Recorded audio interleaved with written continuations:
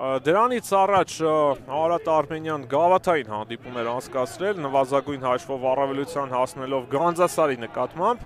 Հիմա Տենտոն Ենեն է եզրից փորձում ներխուժել Տուգանային հրապարակ եւ հերվից հարված գնդակը վերստում է Նեմանյա Լեմահիջը։ Դիմակայություններ մրցաշրջանի սկզբում Փյունիկին է պարտվել եւ Փյունիկի հետ երկրորդ հանդիպումն էլ ոչ ոքիով ավարտվեց, բայց վտանգավոր է հարված, բայց այստեղ խաղից դուրս վիճակ կլինի։ Ոչ, առայժմ արցանագրում է մրցավարը խպված գնդակը, հիմա վարի համար մի փոքր անհեթեթ ընդունած գնդակ, բայց Մոհամեդ Յատարան սովորաբար նման հնարավորություններ բաց չի թողնում եւ խփում է իր 12-րդ գնդակը։ Նոային եւ Բկմային հիմա ունի հնարավորություն Արարատը, տեսնենք ինչ կստացվի, հետ փոխանցում, ով կա այստեղ Վոլոդյա Սամսոնյանն է միացել, լավ հարված էր եւ փորձեց ավելացնել Կասիմ Հաջին,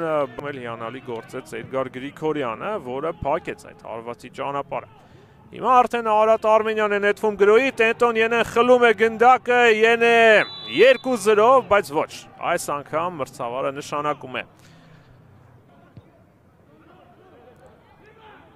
Եթե կաղի առաջին հատվածում բավականին շատ էր գրոհում Արատ Արմենյան, ապա հիմա ոչ, բայց կոնկրետ հիմա գրոհում է հարված Տենտոն Ենեի հարված այս անգամ վերջապես ստացվեց դարպասին մյուս պահեստային ֆուտբոլիստներին ներկայացնեն, բայց այս գրոյից հետո Ադրիանո